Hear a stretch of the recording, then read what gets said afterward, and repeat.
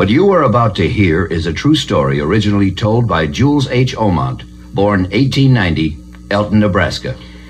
When I was five years old, a prairie fire started near Brewster in Blaine County, burning everything in its path except where enough people got out to whip it out with wet gunny sacks. And when a cow chip caught fire, the wind would roll it for a hundred yards or more and spread fire where it rolled.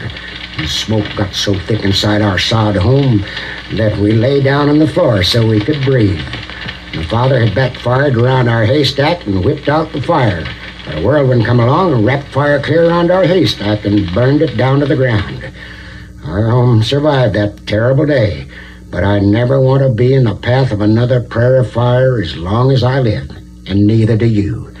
So be careful with fire around here, because only you can prevent prairie fires. A public service of this station, the Smokey Bear Program, and the Ad Council.